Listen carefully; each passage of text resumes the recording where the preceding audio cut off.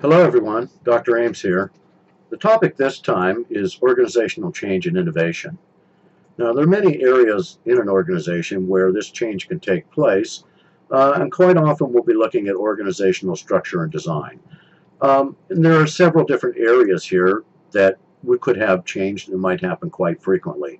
Uh, the one that we're going to see the most probably is job design quite often when things aren't going well for a company or they feel like something could be improved in some way, they're going to start looking at the basic jobs at the company and uh, defining those jobs duties and so forth and making sure that they're really getting the most efficiency that they can. Now most of the time we like to do plan change. We don't like to be caught unprepared or by the unexpected. But things aren't always the way we'd like. Um, when we do have to do some change, and we do plan it, um, quite often we should be thinking of Lewin's model of change. Now this is a three-step model. It's a basic way to look at the process of change in any given organization. Uh, it starts first by unfreezing attitudes. Um, and since it's the first step, we have to spend the most time with it. This means a lot of communication. This means the involvement of top management as well as those at the bottom. And the idea here is that you have to convey to everyone involved the significance of the change, why it has to be done, uh, and what each person's particular role in that will be. Uh, the unfreezing stage is followed by the implementation stage. You've unfrozen attitudes and thinking, and now you implement the plan that you've come up with. And you follow that plan for a while. You do your management function. You control. You gather information and feedback, and you assess how you're doing over time. When you're satisfied that things are working the way that you want, then you get to the third stage of the freezing model, which is refreeze. And the idea here is that we let everyone know we've reached our goal, that we have made a successful change, and now that change is going to be the new status quo. It gives an organization a particularly good way to start over. Uh, it, so to speak, gives them a clean slate. But that's what plan change. We also have a lot of unexpected events, and we have to react to those as they happen. When that happens, um, we have to be paying attention to the environment, hoping that we're somewhat prepared. Generally, this type of change comes out of the general environment and involves factors that are much less under our control. Um, things that come out of the economic sphere, the technological sphere, and the sociocultural sphere. If we're paying attention to the environment, we shouldn't be caught blindsided. But even so, quite often these things come out of the general environment and cause us to react in some way. Uh, but this is the way innovation works.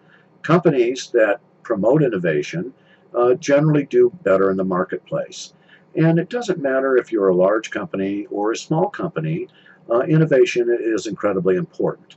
You're always wanting to have new ideas, better ways of doing things, better ways to become more efficient, and creative ideas sometimes can lead to a new product. Uh, it could lead to a patent on something, or simply help you determine that distinctive competency you need to outdo the, uh, the competition. So we do have innovation, and innovation does lead to new products and services. When we look at innovation in particular, we have to say, is this a radical innovation or is this an incremental increment, uh, innovation? Now, incremental innovations are those things that we're kind of used to. We see them quite often in products. And the best example, really, uh, a good one, is the toaster. The toaster was originally out with a couple of slots for bread, and we all made toast with it. But as tastes change, uh, we suddenly realized that people were eating a lot of bagels, and we need a bigger slot for bagels. And so the toaster uh, a small little revision and innovation in the product, and we have a wider slot now for bagels. And then we began to innovate in other ways in this basic household product. Uh, we add temperature controls of different types. We can now defrost something that's been frozen and so forth. So that's incremental innovation, taking an existing product or service and bettering it, making it more efficient in some way, or trying to do that to appeal for a, a different or a new set of of consumers out there. But we also have what's known as radical innovation. Radical innovation is much more dramatic because when we have a radical innovation, it is something that changes the landscape forever, that alters the way we're doing things forever. And so we have to look to significant inventions to really understand this concept of radical innovation. Uh, it's not a small revision or a tweaking of some existing process or of a product. It's something that really does change the way we do things. So think of things like the printing press, for example. When we were able to print the first books, this brought education and literacy to the common person. So this changed the landscape forever. And so you would have to say that the printing press is a great example of an innovation that is radical in nature. And there are others, and think of substantial innovations of the past. The telephone is a radical innovation in communication. Just think of it. Uh, before the telephone, we had the telegraph. And the telegraph, people could only understand those signals if you were trained in Morse code and so forth, and you had the time and the setup to do it. But certainly something like that is not going to be in every household.